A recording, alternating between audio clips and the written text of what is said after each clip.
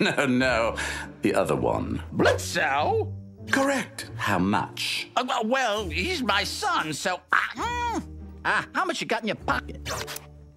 A uh, wadded up five and a slim fit condom. Yeah, that's plenty. Done. Splendid. Fetch him for me and we will be on our way.